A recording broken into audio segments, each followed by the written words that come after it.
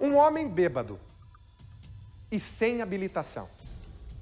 Essa é a história que nós mostramos no começo para você aqui com o Thiago Silva e ele dizendo: Eu fiquei frente a frente com esse camarada, hein? Você vai ver o que ele vai dizer na reportagem. Só que ao estar bêbado e sem a carteira, ele atropelou seis pessoas, inclusive uma criança de um ano e nove meses. Esse crime de trânsito, e toda semana é assim, aconteceu aí, no fim de semana. Uma testemunha conseguiu seguir o motorista e anotou a placa. E foi por isso que a polícia chegou, prendeu o camarada na casa dele. E agora, o que ele tem a dizer? Será que tem explicação? Mostra. Vilmar Rodrigues passou os últimos dois dias na prisão.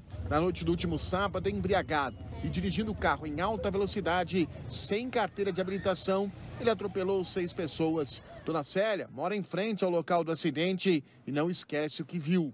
Bagulho bem forte, como tivesse dois carros batendo um no outro, né?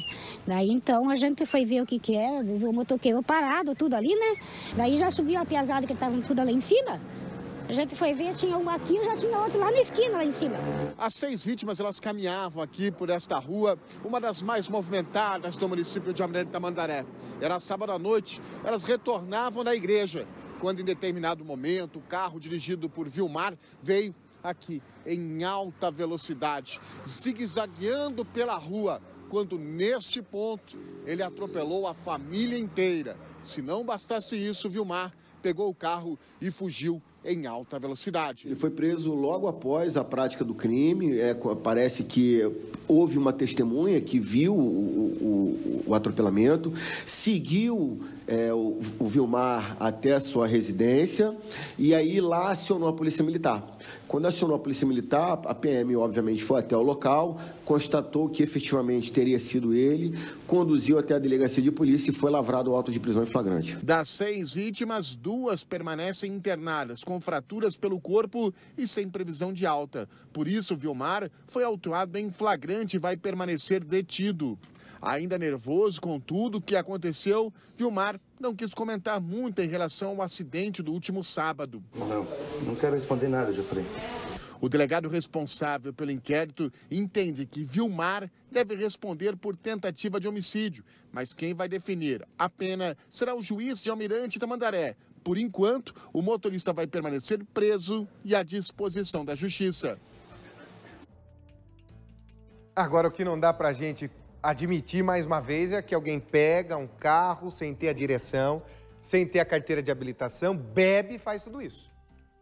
Isso tudo é inconcebível nessa história. Agora o negócio é o seguinte: por sorte, e aí é a tal da mão divina nessa hora, por sorte, dos seis atropelados, ninguém corre o risco de morrer, nem o bebezinho de um ano e nove meses. Tem mais sorte que juiz um camarada como esse, não tem?